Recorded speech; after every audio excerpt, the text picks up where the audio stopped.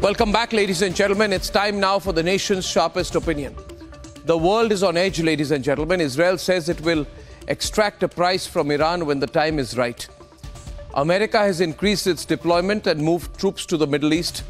Iran's attack on Israel, whether in retaliation of the attack on its consulate in Damascus or in retaliation towards a trigger they have waited for, has destabilized the entire region. As I see it, this is a significant moment because Iran, which has through time since its establishment as the Islamic Republic of Iran in 1979, never got into a direct escalation with Israel. And in that case, this is a first. But to think that Netanyahu will not go with the advice of his war cabinet to respond, to think that he will cave in despite the US being very proactive since the attack, is also hoping against hope. He's also under political pressures, domestic pressure. My view is that there will be an Israeli response in some form. But the larger concern is whether this moment will trigger a World War III. Because let's remember, both World War I and World War II began as regional conflagrations between nations.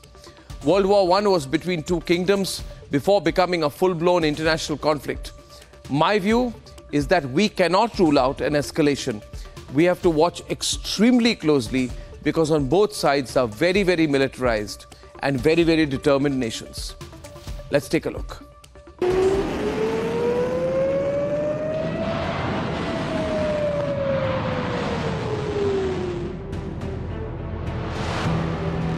Iran launched an unprecedented attack on Israel.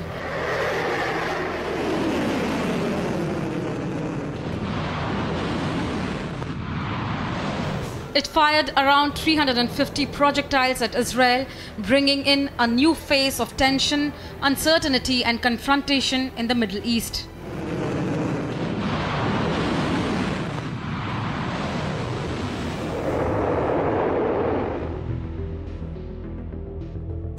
The attack was in response to a suspected Israeli strike on the Iranian consulate in Damascus earlier this month. اینه که قدردان ارزش اقدام مسئولانه و متناسب جمهوری اسلامی ایران باشند و به جای انتخاب الفاظ و عبارات نامتناسب Hours after the attack, 17 Indians on board Israeli-linked vessel were captured by Iran. Yesterday night, uh, I spoke uh, to my Iranian counterpart.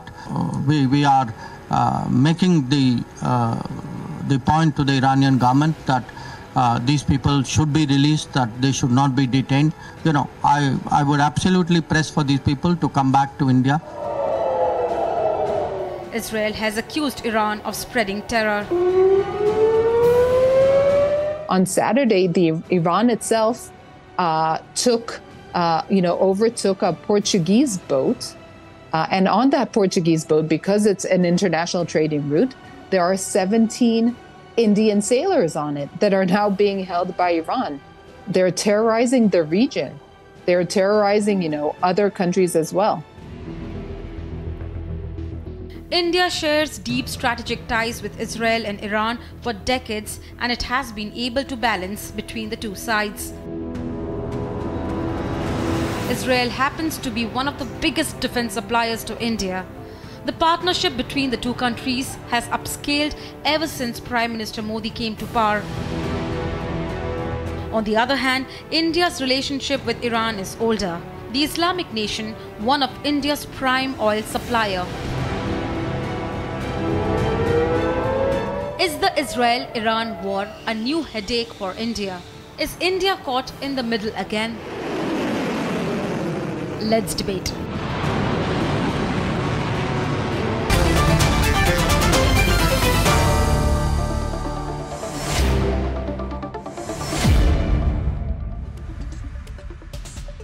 I have uh, with me the deputy spokesperson of the Foreign Affairs Ministry of Israel, uh, Alex Gandler, with me to start tonight.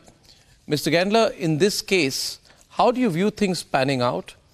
Uh, you know, your, your technology has been very effective against the Iranian missile attack.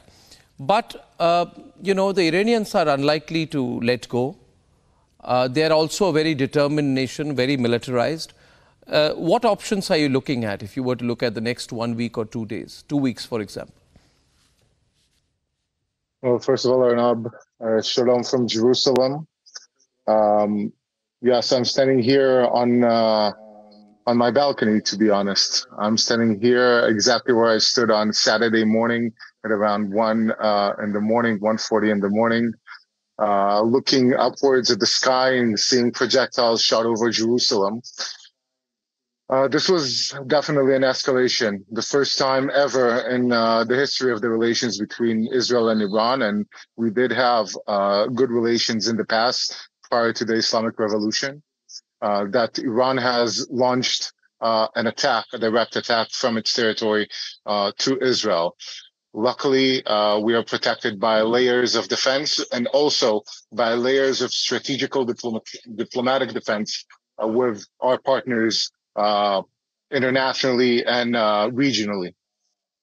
Looking at the future, we're keeping all our options open at the moment. Uh, we are listening to all sides. We're talking with our American friends who are a strategic pa- partner, uh, and we're thinking about uh, uh, how we should respond to this. A response will be needed because such an attack is unprecedented. not only for Israel, this is probably the largest uh, bombardment of aerial drones and ballistic missiles on any country, 300 altogether, some of them uh, very large ICBMs. Uh, so such an attack cannot go unchallenged.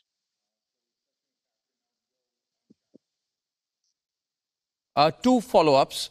Uh, first, Alex, you are saying that this cannot go unchallenged, but the Iranian attack was in response to the Israeli airstrikes destroying the Iranian embassy's consular annex in Damascus.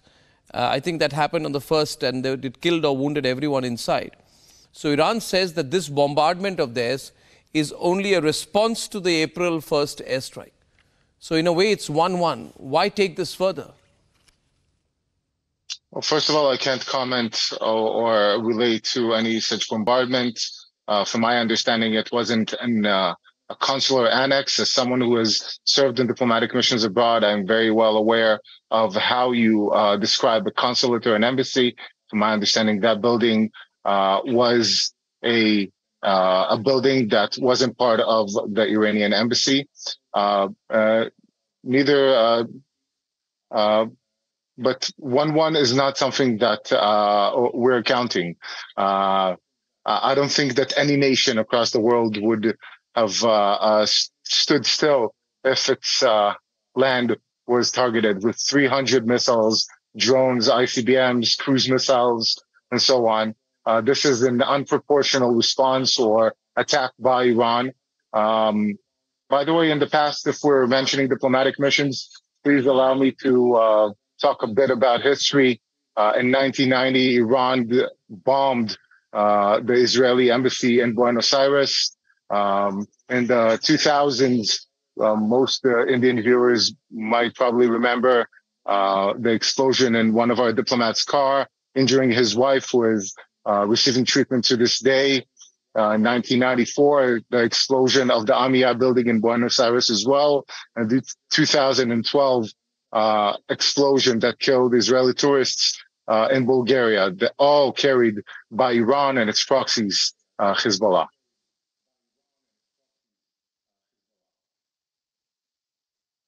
Um, Alex, do you think Israel is taking on everyone together? You have a situation, you know, already vis a vis the situation in Gaza. You have an escalating and long drawn uh, response from Israel there. Now you're taking on Iran. They say that in conflict, you should not take on all your enemies and potential enemies in one go. But that's what Israel seems to be doing. Yeah, so now, first of all, you're right. Uh, opening many fronts is strategically against what Clausewitz said, and I think many generals understand that as well. But let's analyze this for a second. Are we opening different fronts or is it the same front? When we're talking about Iran, uh, the way Iran has been operating since the Iran-Iraq war, uh, their strategic understanding was not to fight a war on their soil. Hence that they developed a strategy of using proxies. So let's talk about the Middle East and what surrounds Israel. Uh, to the north of us in Lebanon, we have Hezbollah. Uh, to the uh, east, Syria and Iraq, we have Hezbollah and Hezbollah uh, Tahrir and other factions. You have them also in Afghanistan and Pakistan, where Iran is uh, operating proxies. Uh, Houthis in Yemen and Palestinian Islamic Jihad and Hamas are also funded by Iran in Gaza. So uh, if there is a war, and there has been a Cold War with Iran for many decades now, it has become a bit warmer. Uh, the fact that they have decided to bomb Israel uh, and shoot all those rockets at us is just an escalation on their part. Uh, we're not looking at uh, different uh, uh, fronts. We're talking about one front about Iran, and it's not just Israel. you saw probably that during Saturday, a coalition of nations stood up to Iran and what it is doing. It's not just against Israel. What we're seeing is something uh, belligerency against the entire world. We are just the victim of this specific action. But at the end of the day, the destabilization is all around the world. Uh, you've spoken about uh, the ship that was uh, captured by Iranian special forces carrying 17 Indian sailors and much more. Houthis attacking yes. ships uh, passing next to Yemen and so on and so forth. This is uh, Iran waging a war against many nations, not just against Israel.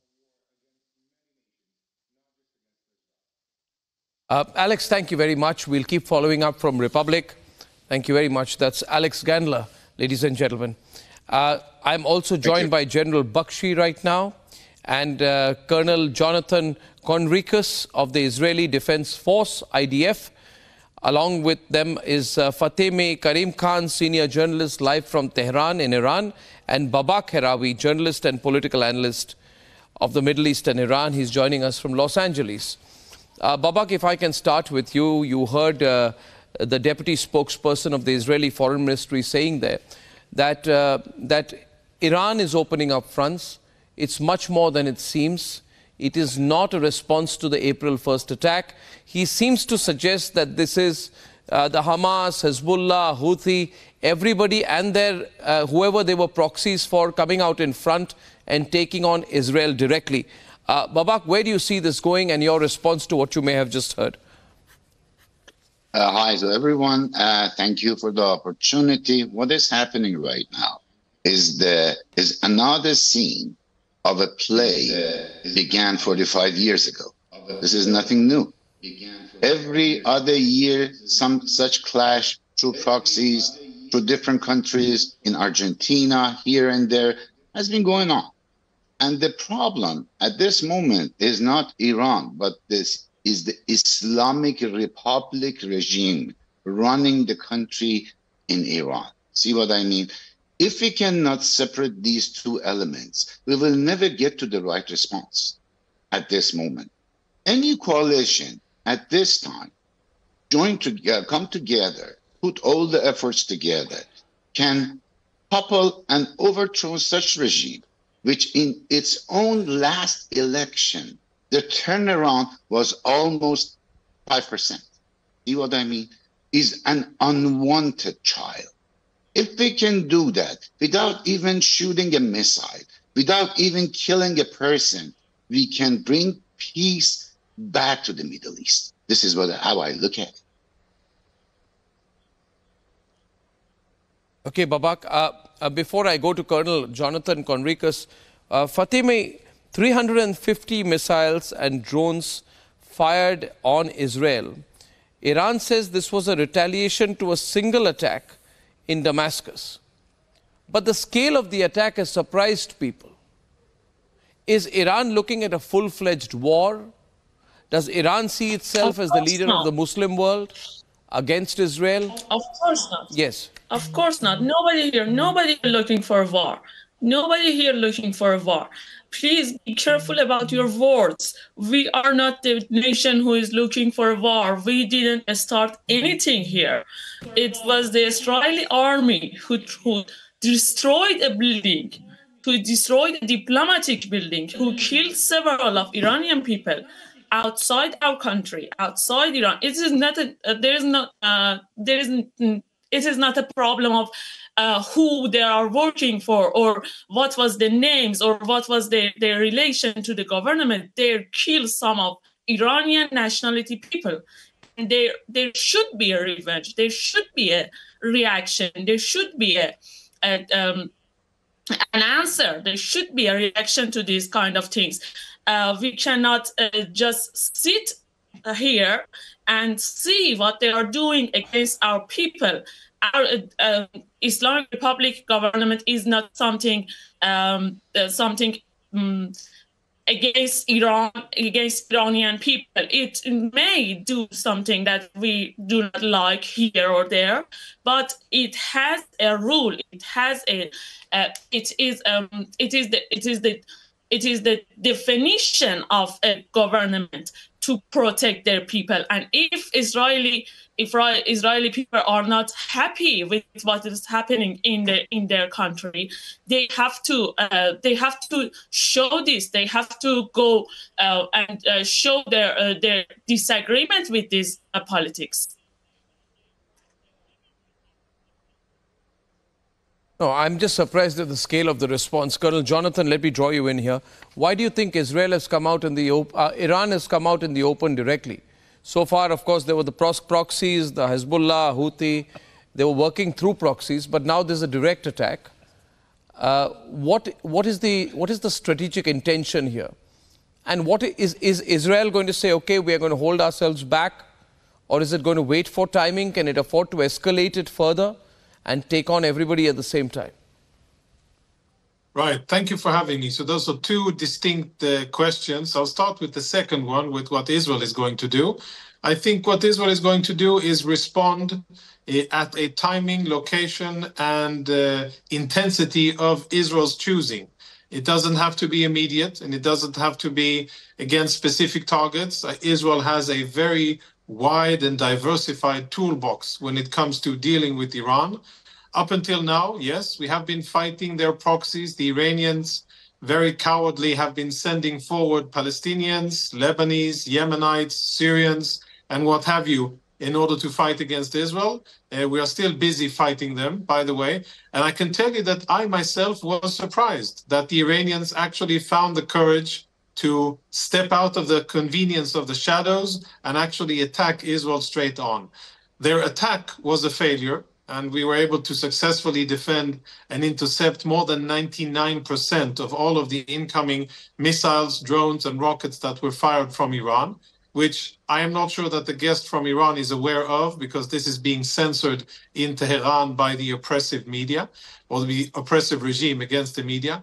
But bottom line is that I think that we are we will see in the imminent future, not maybe tonight and not maybe tomorrow night, an Israeli response because obviously such an attack against Israel cannot go unchecked, especially not when it's from a regime that for 44 years have been chanting and forcing their people to chant death to Israel, death to America, death to the UK. I don't know if they've been saying bad things about India as well, but I know for certain that it's been a lot of death wishes to other countries. Of course, we cannot let this slide, and we must respond to this type of aggression. Uh, uh, General Bakshi, where do you see this going forward now? Uh, you know, uh, uh, Arnab, there has been a paradigm shift in the situation in the Middle East, as the other uh, speakers have very rightly highlighted.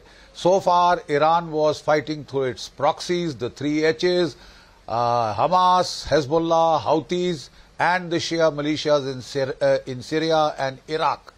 Now it has uh, chosen to fight directly and uh, from what we learn from Iranian sources, they are saying it is in retaliation for the attack on their uh, consulate compound in Syria, where uh, you know a number of their top military officials have been killed. Total 11 have been killed in that particular strike and therefore they wanted to sort of, uh, you know, the United States did a lot to try and deter them, to make them recalculate, recalibrate. You know, the uh, the American Central Command Chief uh, Kurilla, he personally came down to Israel. Another aircraft carrier was sent in to deter Iran. The fact is, Iran has not been deterred.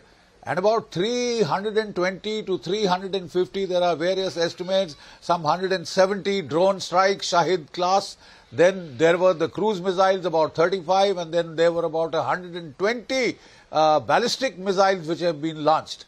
Uh, Iran says it has struck the two air bases from where uh, the Nevatim air base in southern Israel, from which it claims that Israel had launched the air attack onto its embassy. So that base has been hit and they are claiming the major damage. The Israelis tell us that the damage has been very slight. One girl, I understand, poor girl has been killed and about uh, 12 people wounded uh, total in this strike, right? It came in three waves.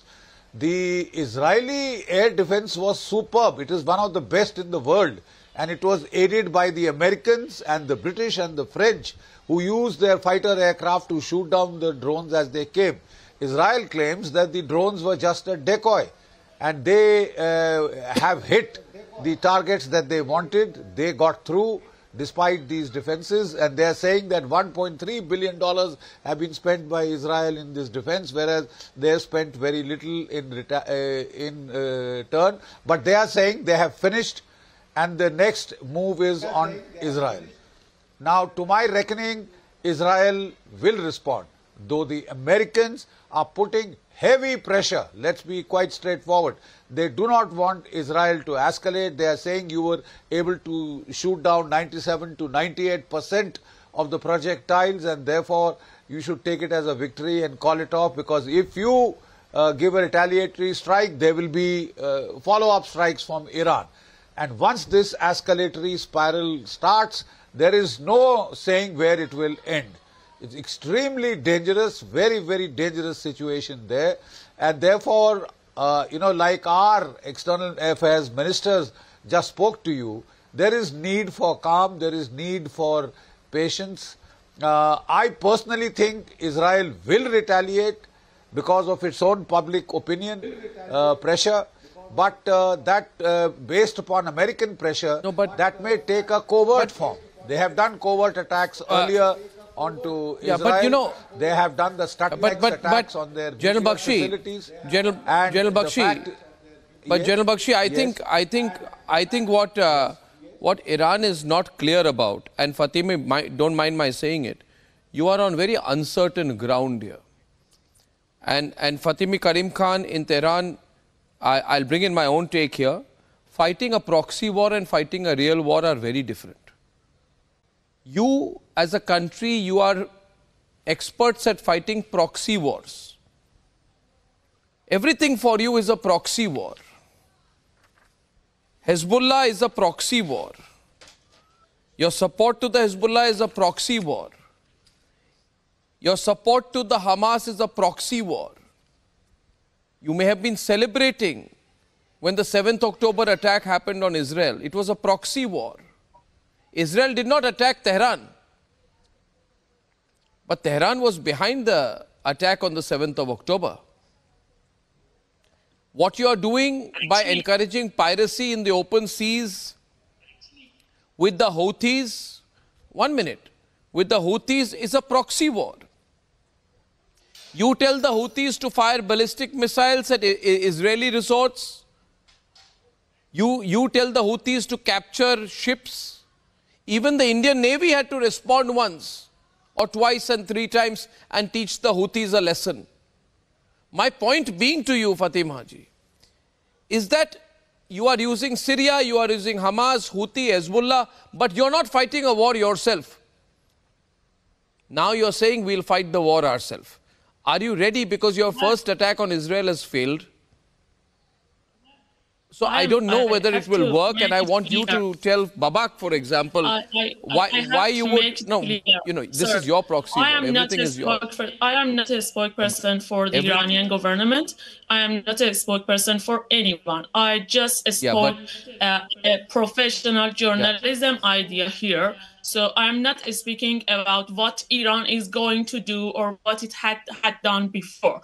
What I'm saying is Iran as a country has every right to protect its people outside and inside the country. We have seen several terrorist attacks from Israelis inside and outside you- Iran against you- our scientists, Are you protecting your people by are you are you are you protecting your people by one minute I'll get Babak Haravi into this Babak is Iran protecting its people by supporting the Hamas by supporting and financing the Houthis not.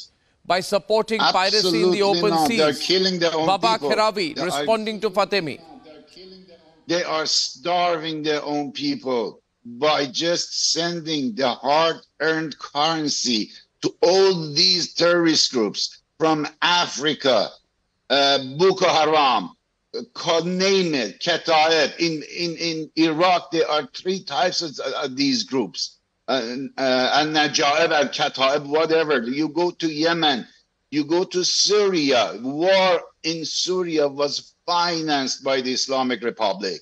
Okay, there is a reason when the inflation in Iran right now at this moment is over 10,000 percent.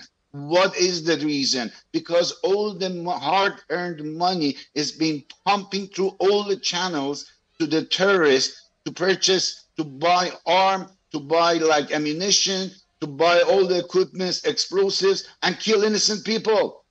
It's as simple as that. There's nothing around it.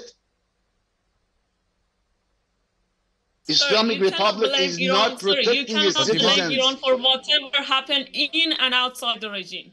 It is not. It, there is not. Iran is not responsible for whatever terroristic attack inside and outside. It, That's- okay, that's what she is That's some not the reality. There is some ties, That's but not you the reality, ma'am. No, no, no. This is the regime's propaganda you're repeating.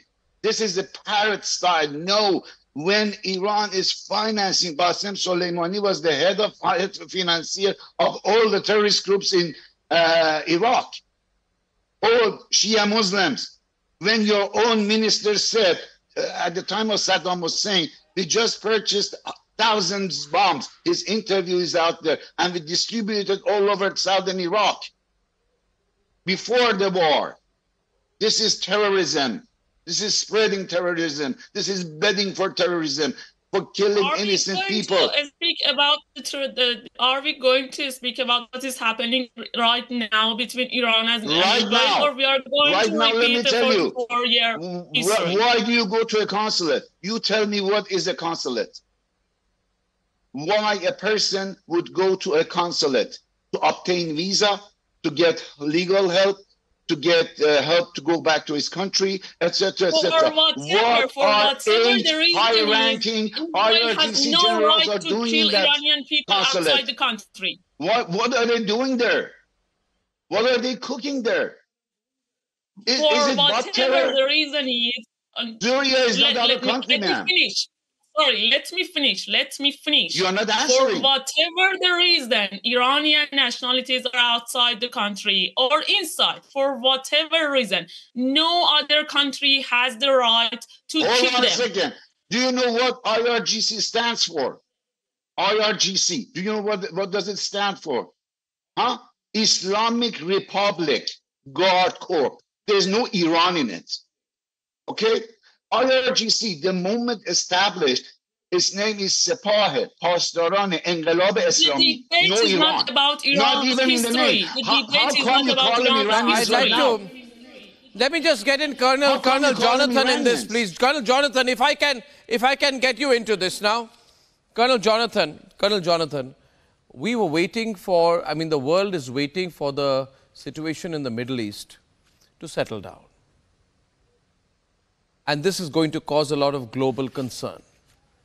Therefore, the Americans will put in pressure as well. This is not good for the global economy if this conflict truly escalates and spins out of control. So, have the Americans managed to convince you to pull back a little? You can make the statements but not take it any further? Yeah, um, I think that uh, sometimes, you know, when you have a bad tooth, uh, you need to endure some pain in order to get it out. And the fact that you're going to endure some pain with the dentist doesn't necessarily mean a bad thing. It is a necessary minor evil in order to deal with a bad situation. And in this metaphor, the bad situation is Iran, the Islamic Republic of Iran. Uh, its actions, its state sponsoring of terror, its belligerent activities across the entire Middle East, specifically against Israel, but not only in Israel, overturning local uh, regimes in Iraq, uh, strifing uh, sectarian violence in Syria and in Lebanon, and fueling civil war in Yemen, and of course, funding terrorist organizations in Gaza. So the fact that many people prefer quiet now I think you know when you have when when there's a problem when your tooth is aching you don't want quiet you want to take care of the issue and you want to make sure that it doesn't become any worse. That's where we are now that's where Israel is. And for all of the people who are saying telling Israel that you must or that you should exercise caution and restraint we have been extremely restrained for decades. For 44 years the uh, mullahs in Iran have been screaming death to Israel and for many decades, they have been arming and equipping terror organizations against us. Many Israeli civilians have died at the hands of Iranian weapons provided to uh, Hamas, Hezbollah, and others. And I think that enough is enough. Israel needs to break free of this uh, noose of terror organizations that Iran has funded and placed along our borders. And it is high time that we take the opportunity now, when finally Iran has summoned the courage to step out of the shadows, to actually confront Iran. There are many targets in Iran, and there are many things that Israel can do. And what I think that Israel will be doing is either going after the nuclear program or going after Iran's capacity to, to continue to fund these malign terrorist activities across the Middle East, so as their sourcing equipment, for instance, ports where uh, oil is uh, exported from and petrochemical products are exported from, by the way, violating international sanctions. Um, and maybe that will be a target. But whatever happens, I do not think that Israel will let this slide. Whatever countries and organizations and even our closest friends will tell us and ask us to do. I think that once Iran fired 350 rockets and missiles, we crossed that Rubicon, and this aggression must be met with a firm, clear Middle Eastern response. Well, this, this uh, without doubt, uh, is going to escalate. Uh, viewers, for those thinking of this as new, look at it another way. What is happening now is only a formalization of what has been a battle ongoing between Israel and Iran. It is just that Iran has worked through proxies so far and now it is coming out in the open. But when it does, governments and militaries get involved, so it takes on a very different dimension from when Iran can blame it on non-state actors.